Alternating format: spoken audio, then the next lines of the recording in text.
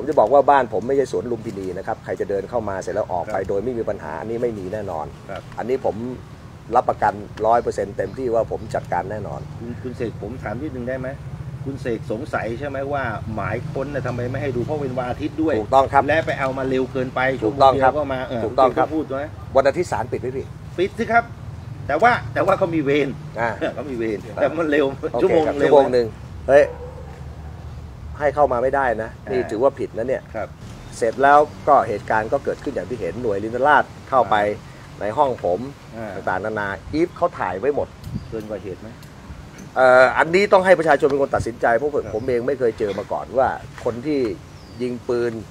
ขึ้นฟ้าแล้วก็เป็นนักดนตรีดังของประเทศนี้จะโดนหน่วยอรินทราชถือปืนประชาชนอาวุธไหนอะ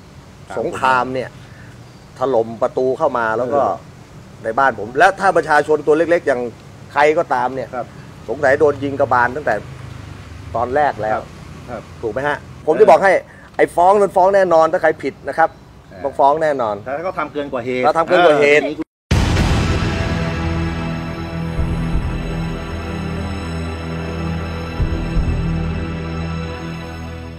ถ้าคุณเสกคิดว่าเจ้าที่ตำรวจทำเกินกว่าเหตุก็ฟ้องนะครับ ยินดี นะครับ แต่ว่าในส่วนของทางเจ้าหน้าที่ตำรวจยืนยันการปฏิบัติหน้าที่ว่าเป็นไงบ้างก็ชอบด้วยกฎหมายเป็นไปตามข้อกฎหมายนะครับ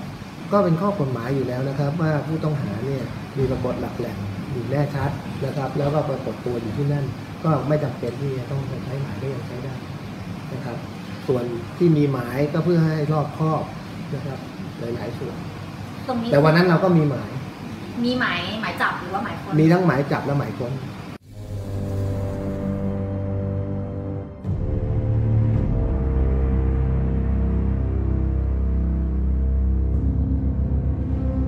ตรวจฉี่ผมว่าตรวจแต่แต่ดีครับเพราะด้วยด้วยความบริสุทธิ์ใจ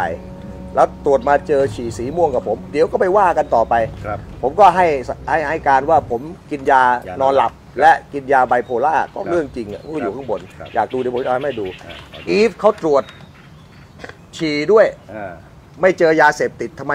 ทำไมตำรวจไม่เอาไปออกข่าวอ่าว่าอีฟไม่ได้เจอยาเสพติดอ่าและของกลางในห้องผมไม่มีเรื่องยาเสพติด และไม่มีอะไรแม้แต่นิดเดียว ไม่มีอุปกรณ์ ไม่มีอุปกรณ์การเสพและไม่พบยาเสพติดแม้แต่นิดเดียวได้เขียนข่าวกันมาฮะมีใช่ไหมครับมีมีมีอ่ามีมีอีฟเขาอยู่ในห้องกับผมด้วย และมีตรวจสารยาเสพติด ไม่เจอสารยาถ้าผมเสพยาเสพติดด้วยกันสองคนเขาจะต้องเจอสารด้วยอ่าใช่ครับถูกไหมพี่ถูกต้องนะครับผลตรวจอะไรที่ว่านั่นถ้าไม่ใช่เป็นสารเสพติด เห็นว่าจะฟ้องตำรวจในชุดนี้ด้วย ก็ไม่ใช่ฟ้องเรียกร้องค่าเสียหายอะไรหรอกผมแค่บอกว่า เอ๊ะเวลาให้ข่าวให้อะไรเนี่ยก็ต้องดูแลกันหน่อยนะ ไม่ใช่มาทำลายผม ถ้าเกิดผลออกมาว่าพี่ไม่ได้เสพแล้วพี่จะทำยังไงต่อและ หรือถ้าผลออกมายังยืนยันว่าพี่ยัง เป็น ก็ว่าไปตามชั้นศาลแล้วกันนะ ถ้าถ้าถ้าผมว่าผมครับ ถ้าผมไม่ได้เสพหรือตรวจแล้วว่าเป็นเพราะยานี้ก็ขอโทษขอโพยผมมาก็เรียบร้อยแล้ว ผมลูกผู้ชายผมไปเอาอะไรครับเป็นไม่ต้องเรียกร้องอะไรเงินทองผมก็มีอยู่ครับเอางี้แล้วกันนะฮะก็เขาแยกสารสารมาทั้งหมดแล้วนะครับ ส่วนคุณเสกอ้างว่าเอ่อไม่พบยาไม่พบอุปกรณ์การเสพทุกสิ่งทุกอย่างอยู่ที่ตัวเขา นั่นแหละคือของกลางในตัวเขานะครับ แต่คือผลแพทย์นี่ระบุชี้ชัดมาชัดเลยเจว่านมีนะครับชัดเจน